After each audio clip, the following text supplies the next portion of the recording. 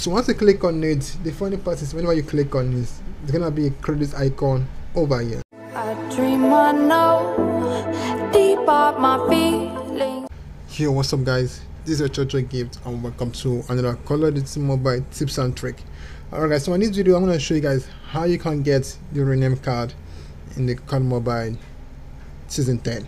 So guys, this is the COD Mobile Season 10 and this is 2022.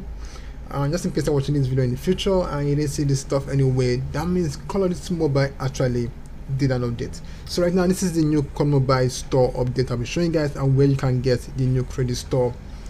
You can get the new you know rename card anyway sorry the new rename card. So first of all if you go to your credit store and again guys the rename card is actually free. It's not with a cp so don't think about you can get rename card with a cp so right now i have just three cp all right right now i have just three cp and i'm gonna get the rename card with my credit point. So i have three cp 20 credit points. How to do is you know you go to the store icon. You're gonna see this um, item at the left hand down below of your screen. On this row over you're gonna see these items or item. Click on it. So click on it right now i'm gonna show you you know weapon rename card you know weapon xp card weapon sp and this is the rename card so if you click on the rename card it's showing 200 cp and I have just three just three CP so how to do it don't worry don't freak out. Just go and click on it. Yeah just click on it.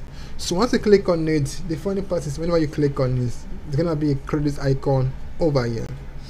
All right so if you have the credit icon over here how to do is yeah just go ahead and put the amount of CP you want to get so I'm getting 10,000 credit points of CP which is 10 CP so right now I want to buy 10 CP all I have to do is go ahead and click over here and boom.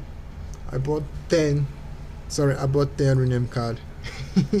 So right now I'm having 10,000 credit point and still 3 CP so this, the rename card is actually free and it's what you just having a credit point then you can get a rename card alright guys so actually this video is actually the remake because i noticed most players are not seeing where to get the rename card. And the rename card is still free it's not still for paid.